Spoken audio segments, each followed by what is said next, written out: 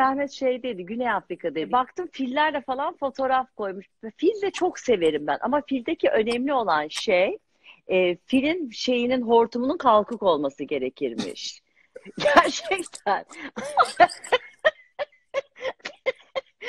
Ne gülüyorsun? Ay, fil uğurdur derler ya. Hortumunun kalkık olması lazımmış yani.